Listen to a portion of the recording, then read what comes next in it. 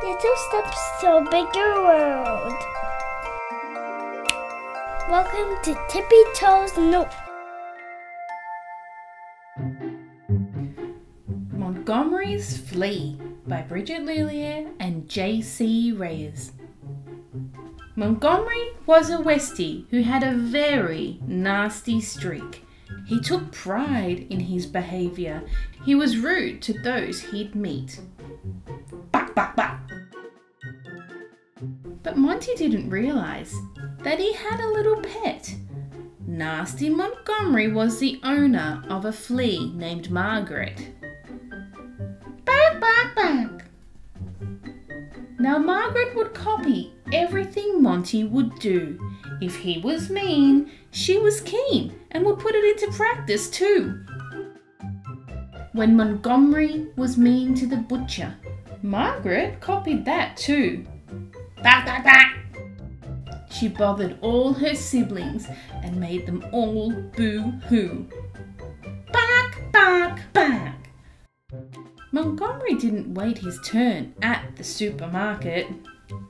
Margaret pushed in front of her siblings and her mother screamed, Hey Margaret! When Montgomery snatched his parcel from the lady at the post, Margaret snatched food from her brother. Margaret's bad attitude was the most.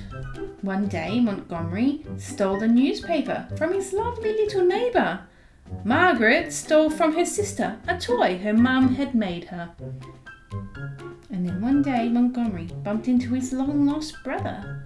They had had a fight many years ago and no longer spoke to one another. But to Monty's surprise, his brother needed help. Montgomery said, I'm sorry, and then he began to yelp. Montgomery was sorry for the nastiness he had embodied. Margaret was confused and questioned why she had copied. Margaret had an idea and bounded down Monty's back to the tip of his tail where her family had bailed to have a break from her attack. I'm sorry, fam.